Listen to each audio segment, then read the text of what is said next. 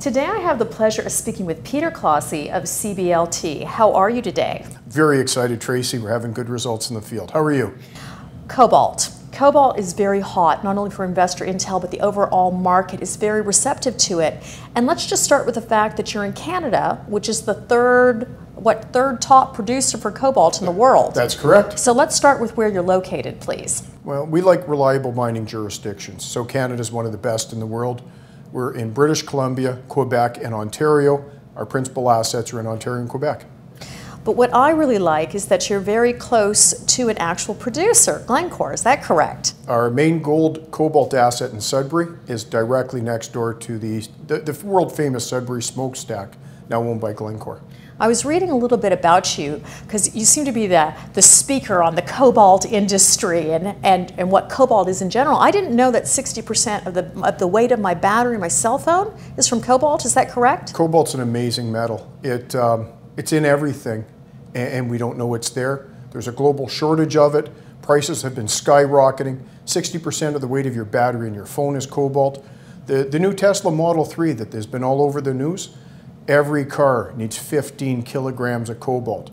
If they make half a million, that's seven and a half million kilograms of cobalt just for one model of one car. And of course, I keep speaking to CEOs in the public markets and saying there's a lot of jets on the tarmac right now, Peter.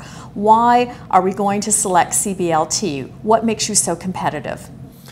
Well, management is horrifically cheap with the shareholders' money. We spend it well, we spend it wisely. As a result, we don't have a lot of shares outstanding and that means value goes to the shareholders. We have strong properties, we have strong teams, and we were one of the early movers in this market. We bought good properties at great pricing. And it's my understanding the grade is competitive. Absolutely. So, can you tell us what we should anticipate, say, for this next uh, couple of quarters, Peter? We're a junior exploration company, so we're exploring. We have results coming from our Chilton Cobalt property in Quebec. Those should be out in the next week or two. We've taken more samples from the main gold and cobalt asset in Sudbury. Those should be out in the next week or two. And we've also done some prospecting and boots and hammer work at Dryden Cobalt. That should be out in the next two or three weeks. And we've just found out that the Ontario government will be conducting work of its own on our Otto Township property near Larder Lake, Ontario. They find it so geologically fascinating, they will spend taxpayers' dollars helping to advance the property, and we get all the data. So, just on one final note, because I know you're such a, an advocate against conflict minerals, can you tell us just a little bit more about cobalt currently and where most people are getting their cobalt? Most of the cobalt in the world comes from the Congo. It's controlled by the Chinese private equity and the Chinese government.